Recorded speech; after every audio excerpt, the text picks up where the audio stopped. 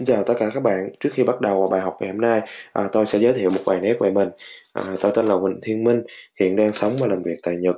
Ngoài ra thì tôi còn dạy tiếng Nhật cho rất nhiều những bạn khác. À, các bạn có thể liên lạc trực tiếp với tôi qua địa chỉ email huỳnh minh 0219 gmail com à, hoặc là trang Facebook cá nhân. À, tôi có ghi ở bên dưới cái clip này. À, còn ngoài ra thì các bạn cũng đừng quên theo dõi à, trang à, fanpage học tiếng Nhật online để nhận được những tài liệu tiếng Nhật hữu ích. Ngoài ra còn có cơ hội nhận được những khóa học online hoàn toàn miễn phí. Bây giờ thì à, tôi sẽ không để các bạn phải chờ đợi, chúng ta sẽ đi ngay vào bài học. À, tôi sẽ dành ra một phút để hướng dẫn lại cho bạn cách học kanji. À, khi mà đến với phần học kanji của tôi ấy, thì tôi nhắc lại một lần nữa tôi không hướng dẫn cho các bạn học cách viết, cũng không hướng dẫn các bạn học theo bộ và cũng không bắt các bạn phải viết chữ kanji mỗi ngày bởi vì cách học của tôi á, là nhìn bằng mắt và các bạn sẽ nhớ được chữ kanji, nhớ được cách đọc, nhớ được cách ghép chữ kanji lại. Và khi các bạn đi thi, các bạn có thể nhìn chữ kanji và các bạn chọn đúng được cách đọc của nó. Khi các bạn đọc báo tiếng Nhật ở ngoài, các bạn có thể đọc được chữ kanji. Các bạn không cần phải viết nha. Rồi cách học đó như thế nào, tôi sẽ hướng dẫn cho các bạn. Đầu tiên á, mỗi một buổi học của tôi tôi sẽ dạy cho các bạn 5 đến 6 chữ kanji. Và trước khi học chữ kanji á, các bạn thấy tôi phân chia như thế này.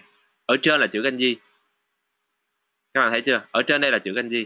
Và phía dưới đây là ý nghĩa, cách đọc và âm hán việt của nó. Thì trước khi bắt đầu học một chữ kanji, các bạn nhìn vào màn hình và nhìn vào chữ trên cùng giùm tôi. Tôi đánh những cái nét, những cái nét viết trên đây theo số thứ tự, không đồng nghĩa với việc là tôi bắt các bạn viết, mà các bạn để cho các bạn, để cho ánh mắt các bạn lướt nhìn theo. Mỗi lần mà bắt đầu học một chữ kanji các bạn nhìn, đầu tiên các bạn nhìn vào chữ kanji này giùm tôi. Và các bạn nhìn vào những nét viết tôi đã đánh theo cái thứ tự và tôi đánh cái màu cái màu mực nó khác nhau. Các bạn nhìn trên đây dùm tôi. Khi mà các bạn lướt mắt hết tất cả những nét viết kanji trên đây, các bạn chỉ cần lướt mắt qua thôi, các bạn không cần phải nhớ nó. Rồi các bạn nhìn vào cái phần bên dưới. Thì điều đầu tiên các bạn phải lưu ý dùm tôi đó chính là chữ chữ màu đỏ tôi ghi đây. Đó là âm hán việt và chữ này tôi khuyến khích các bạn nên nhớ nó. Vì các bạn nhớ nó, sau này các bạn sẽ gặp được rất nhiều những thuận lợi trong đi thi và cả trong cuộc sống hàng hàng ngày ở nhật và cả khi các bạn đọc báo Nhật các bạn cũng sẽ biết nó nói cái gì. Các bạn không cần phải biết cách đọc. Các bạn nhìn vào cái chữ này các bạn biết âm Hán Việt thôi. Các bạn đoán được có thể là 70% cái ý nghĩa của chữ kanji đó. Các bạn hiểu chưa? Cho nên á các bạn cố gắng khuyến khích các bạn nên nhớ chữ kanji à, chữ Hán Việt màu đỏ tôi ghi trên đây nhé. Rồi điều thứ thứ ba nữa là khi các bạn nhớ được âm Hán Việt này rồi thì các bạn nhìn vào cái ô màu hồng trên đây nè. Ô màu hồng trên đây tức là khi cái chữ kanji đứng một mình nó sẽ đọc như thế nào? Tomaru. Có nghĩa là dừng lại. Tomaru có nghĩa là dừng lại. Các bạn nhớ giùm tôi chỗ này. Rồi cái cuối cùng nữa các bạn nhìn vào ô màu trắng. Tức là khi nó ghép hai chữ kanji lại với nhau thì nó sẽ có cách đọc như thế nào? Bây giờ chiusi chiusi có nghĩa là đình lại dừng lại. Và từ chiusi này các bạn sử dụng trong uh, ví dụ như là uh, công trình giao thông ấy các bạn. Ví dụ như đường xá đang đang xây dựng à, đang làm đường nhưng mà bỗng nhiên bị dừng lại thì các bạn sẽ sử dụng từ này nha Kojiwa Systemas tức là công trình thì đang dừng lại. Các bạn nhớ nè khi mà các bạn đi thi các bạn gặp từ này trong từ vựng ấy có thể các bạn sẽ bị người ta lừa trong đề thi. Người ta sẽ không cho à, người ta sẽ cho máy móc là QC cho máy móc dừng lại hoặc là sẽ cho các bạn là xe nó dừng lại. Rồi à, à, uh, uh, kuruma wa QC stemas hoặc là Kika Wachiu Systemas hoặc là Koji Wachiu Systemas các bạn sẽ chọn là cách dùng là đúng thì các bạn nhớ giùm tôi nha. Những cái công trình mà nó bị đình lại bị ngừng lại thì các bạn sẽ sử dụng từ chiêu si này. Chắc chắn nếu như mà cho từ chiêu si này trong N4 thì các bạn sẽ gặp từ đó đấy. Cho nên các bạn lưu ý giùm tôi. Rồi à, khi mà các bạn đã nhìn hết tất cả những cái bước mà tôi hướng dẫn cho bạn rồi đấy thì các bạn bắt đầu quay trở lại nhìn chữ kanji giùm tôi một lần nữa. Và khi này các bạn sẽ nhìn theo những nét viết trên đây nhưng các bạn đọc thầm trong đầu giùm tôi. Chữ này đọc là chữ chỉ. Và khi đứng một mình, nó đọc là tomaru khi ghép hai chữ kanji lại với nhau thì đọc là chiushishimas có nghĩa là dừng lại, ngừng lại. Các bạn nhớ chưa? Trình tự đầu tiên, nhìn chữ kanji. Thứ hai là nhìn vào âm hán việt. Và thứ ba là nhìn vào cách đọc khi nó đứng một mình. Rồi cái cuối cùng là nhìn vào cách đọc khi nó ghép với chữ kanji khác. Và sau khi nhìn vào rồi thì các bạn sẽ tổng quát lại. Các bạn nhìn lại chữ kanji một lần nữa. Và các bạn đọc thầm trong đầu nó âm hán việt nó đọc là chữ chỉ. Đứng một mình nó đọc là tomaru. Khi ghép với hai chữ kanji thì đọc là chiushi nhé rồi, các bạn nhìn vào một chữ này các bạn chỉ nhìn khoảng một phút giùm tôi thôi, đừng nhìn lâu quá. Các bạn đừng đánh mất nhiều thời gian vào một chữ kanji mà các bạn nên dành thời gian đó để đọc nhiều chữ kanji thì các bạn sẽ nhớ được nhiều chữ kanji hơn. Rồi, các bạn nhìn vào chữ thứ hai giùm tôi. Rồi, các bạn làm theo cái cách mà tôi vừa hướng dẫn hướng dẫn các bạn đi các bạn nhìn vào những nét viết tôi viết trên đây. Các bạn nhìn đi.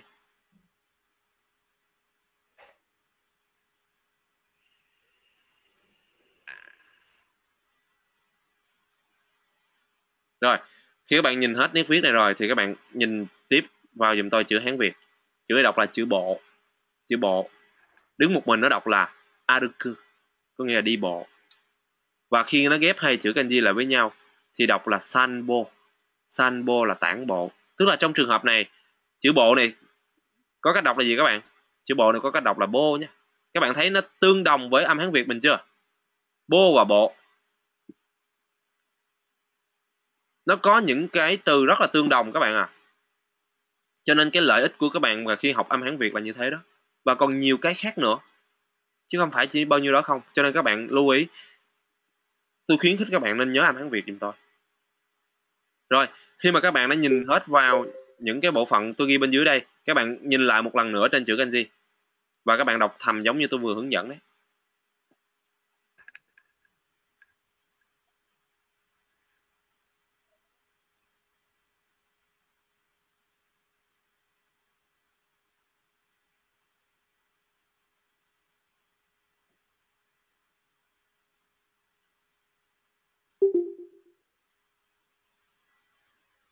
rồi à, các bạn nhìn tiếp qua chữ thứ ba giùm tôi nhé. Chữ thứ ba các bạn nhìn vào những nét viết trên đây. Vẫn nhìn y như tôi hướng dẫn lúc nãy. Nhìn vào.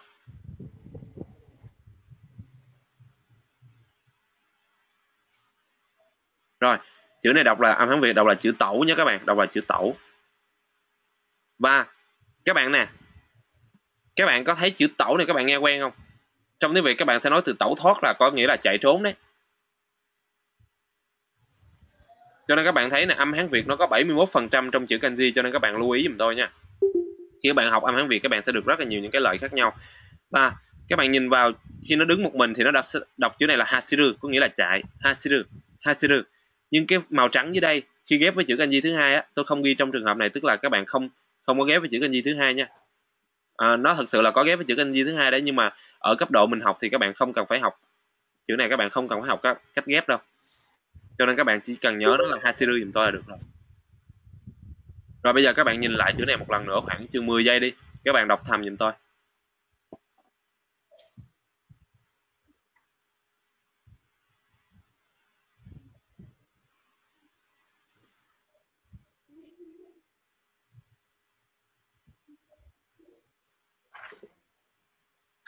Rồi, bây giờ tôi sẽ qua chữ kanji thứ tư nhé.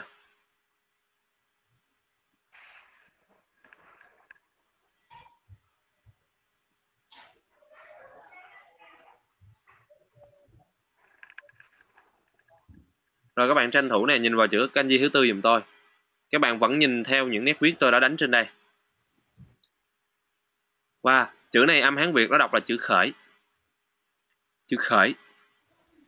Khởi có phải là bắt đầu khởi, khơi dậy, uh, làm nên một cái gì đó không các bạn? Nó có nghĩa là sự khởi đầu đúng không? Cho nên á, các bạn nhìn vào chữ khởi này các bạn sẽ đón được những cái ý nghĩa của nó dùm tôi. Ví dụ như là khởi nghiệp nè, khởi động nè, sau này tôi sẽ hướng dẫn cho các bạn cách ghép mấy chữ kanji đó vào với nhau. Nhưng bây giờ trong cái giới hạn các bạn học thì các bạn chỉ nhớ dùm tôi là chữ okiru và okosu thôi. Nhé chữ khởi này các bạn sẽ có hai cách đọc. Okiru và okosu okiru có nghĩa là thức dậy và okosu có nghĩa là đánh thức. Khi mà ghép với chữ kanji thứ hai á, thì à, hiện tại các bạn không cần phải nhớ đâu.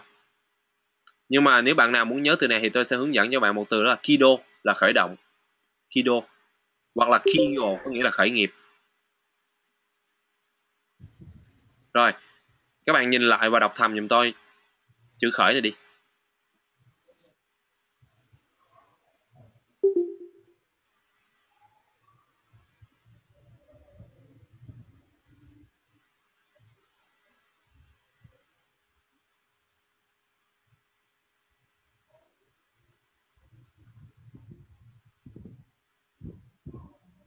Rồi, bây giờ chúng ta sẽ qua chữ ờ, thứ tư à, chữ thứ năm nhé. Chữ thứ năm. Rồi các bạn lưu ý giùm tôi nè. Chữ thứ năm và chữ thứ sáu này mục đích ngày hôm nay tôi cho các bạn học 6 chữ rồi để các bạn phân biệt được hai chữ này nhé. Chữ thứ năm và chữ thứ sáu này rất giống nhau. Nhưng trước hết các bạn nhớ giùm tôi chữ thứ năm này đọc là chữ trì. Nam Hán Việt đọc là chữ trì. Và khi đứng một mình đó các bạn chỉ cần nhớ giùm tôi nó là chữ mô chưa thôi chưa có là mochimas đó các bạn là cầm nắm là có trong tay cái gì đó. Okane motemas uh, Ieo motemas tôi có nhà nè. Kanoyo motemas tôi có người yêu nè. Hoặc là ở ờ, Hongo motemas tôi đang có cuốn sách. Các bạn hiểu chưa? Thì các bạn để phân biệt được chữ trì và chữ đãi này tôi sẽ chỉ cho bạn một cách phân biệt. Rồi các bạn nhìn vào chữ đãi này đi. Chữ đãi này đọc là machimas machu machimas có nghĩa là chờ đợi đợi ai cái gì đó chờ đợi cái gì đó. Rồi bây giờ các bạn thấy thấy hai bộ phận ở phía sau nó đều giống nhau. Đều là bộ tự đều giống nhau. Ừ. nhá. Rồi bây giờ để mình phân biệt được nó như thế nào. Các bạn thấy nè. Bây giờ tôi nói nữa thì tôi sợ các bạn sẽ rối đấy cho nên là các bạn không cần phải nhớ những cái này đâu.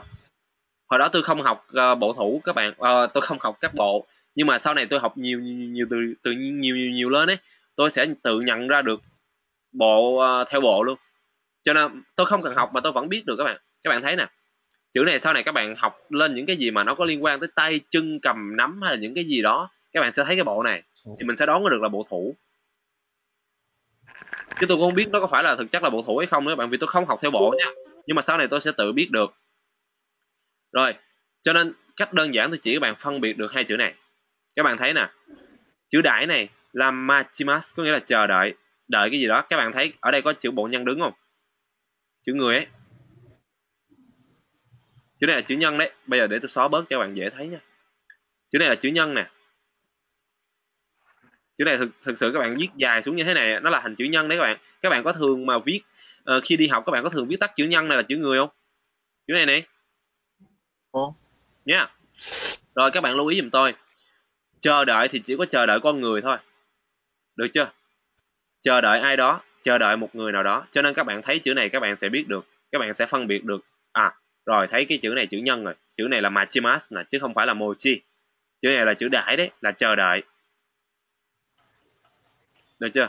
Rồi, quay lại chữ này, chữ trì mochimas rồi các bạn nhớ giùm tôi đây là bộ thủ luôn đi. Chữ này là chữ thủ đấy, liên quan về tới tay chân ấy. thì các bạn sẽ nhớ là cầm nắm thì phải cầm bằng tay thôi được chưa? Còn chờ đợi thì phải chờ đợi người nào đó thôi. Các bạn lưu ý giùm tôi hai nét này thì các bạn sẽ nhớ được chữ này thôi. Không có gì phải phải lộn xộn, phải lóng xoắn ở đây cả. Rồi, bây giờ các bạn sẵn sàng. Tôi sẽ cho các bạn nhìn lại hai chữ kanji này. Ba chữ kanji này một lần nữa khoảng 15 giây đi. Tôi sẽ tôi sẽ xáo trộn 6 chữ kanji này cho các bạn đọc.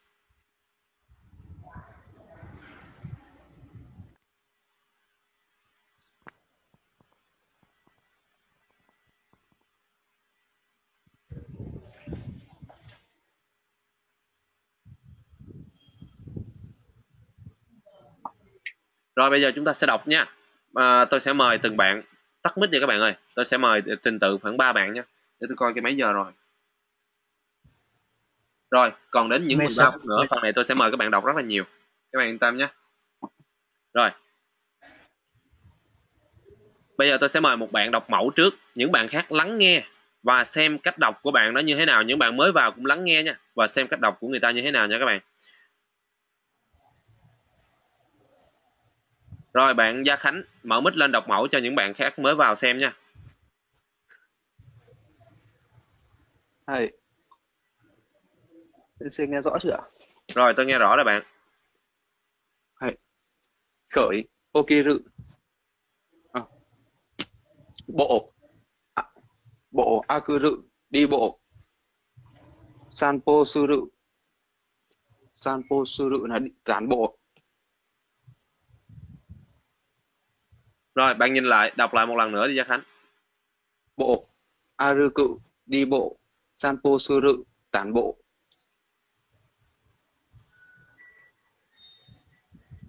Chỉ, mô trụ, cầm nắm.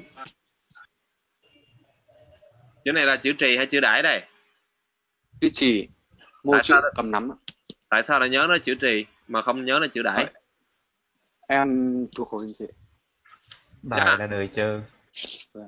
rồi thì các bạn nhớ giùm tôi nha. Khi mà có cái chữ này á thì các bạn sẽ nhớ nó là chữ đãi nha. À chữ chữ trì nha các bạn. Sẽ nhớ là chữ trì giùm tôi nha. Rồi đọc lại một lần nữa đi gia khánh. Chỉ mô chữ cầm nắm. Chỉ mô chữ cầm nắm. Ờ, chỉ chỉ. Chỉ uh, tomaru dừng lại. Si sư rự nó ngừng lại.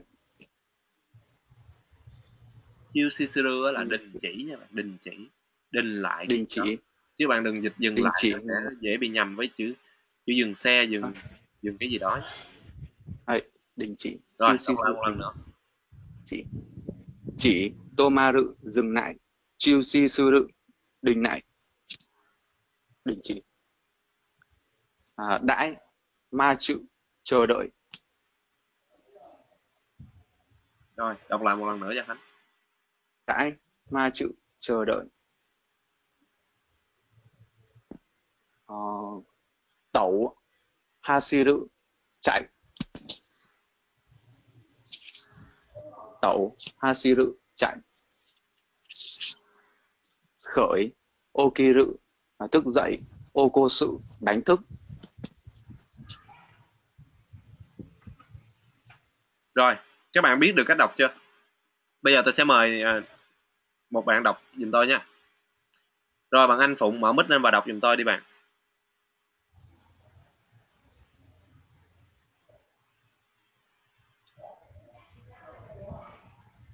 Rồi bạn anh thư mở mic đi. Mẹ mình mở sẵn này hay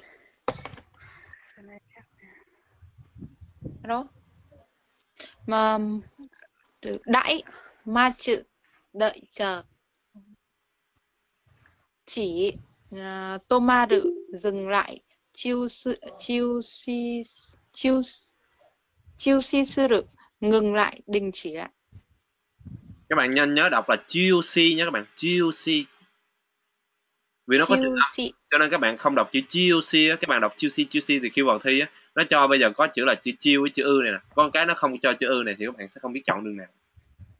Hai, chiêu si sư dừng lại đừng ờ, chỉ mô chữ ờ, cầm nắm.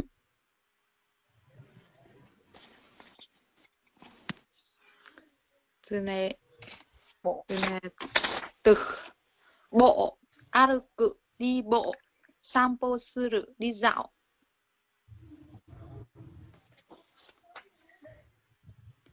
Chỉ mô chữ cầm nắm. Chỉ, chỉ tomaru dừng lại. Chiu si suru ngừng lại. Đãi ma chữ chờ đợi. Chỉ mô chữ cầm nắm. Đãi ma chữ đợi chờ. Từ ừ, từ này từ gì em quên mà. Từ tẩu. Ha hasiru chạy. Đọc lại lần nữa bạn. Tẩu hasiru chạy. Khởi Okiru thức dậy, ô cô sự đánh thức. Đãi ma chữ đợi chờ. Rồi, cảm ơn bạn nhiều nha. Rồi bạn um, bạn Đào Nguyễn nè, mở mic lên đọc giùm tôi đi.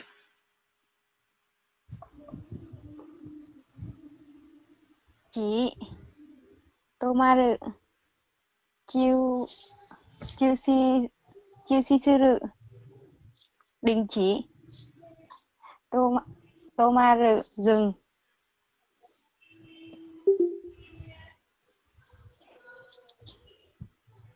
Chi ma chi chi ma chữ cầm nắm.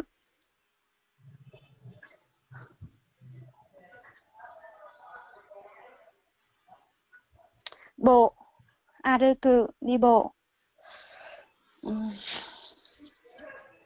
Sambo. Sambo suru đi dạo. Chì. Ma chữ cầm nắm. Ma chư hay là ma hay là mô chư Mô chữ. Mô Mô chữ. chữ. Các bạn lưu ý nha mô chư và ma chư khác nhau nha bạn. Mô chư là cầm nắm còn ma chư ấy đợi chờ. Sensei vô bên là sai. Là chờ đợi. Chỉ Tomaru dừng. Chushi suru đình chỉ. Đại. Đấy đợi chờ. Ma chữ. Đợi chờ. Khởi. À, à, nhầm nhầm đấu cái này từ đấu tẩu hasiru chạy. Khởi. Okiru okosu. Thức dậy dậy. Thức. Tẩu hasiru chạy. Đọc lại bạn. Tẩu hasiru chạy. Chỉ chỉ tomaru dừng. Rồi cảm ơn bạn. Suru bạn Dung Phạm đọc tiếp giùm tôi đi. Hay. Đái ma chữ đợi chờ. Đãi à, chí tô ma dự chiêu si sư dự đình đình đình lại ạ chỉ mô chữ, cầm, nắm. Bộ, a dư- a dư cự, đi bộ, sang bô sư dự tản bộ. Chỉ mô chữ, cầm, nắm.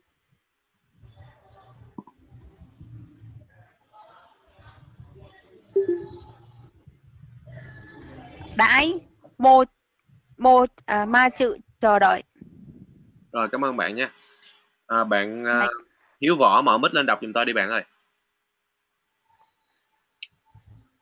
Hay. chỉ Tomaru ngừng lại. Chiusisuru đình chỉ. Đãi ma chư chờ đợi. Tẩu Hasiru chạy. Khởi Okiru thức dậy. Okosu đánh thức. Chỉ Tomaru ngừng lại. Chiusisuru đình chỉ. Trì Mochu, chư cầm nắm.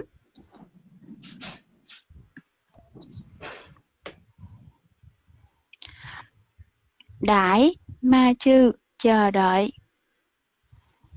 À, tôi cảm ơn bạn nha. Bây giờ còn à, lại khoảng chừng 3 phút nữa tôi sẽ à, 3 phút nữa tôi sẽ tìm ra một bạn mà thứ sáu tuần rồi ấy. Các bạn đã chia sẻ bài livestream và đã comment hai số à, may mắn nhất ấy.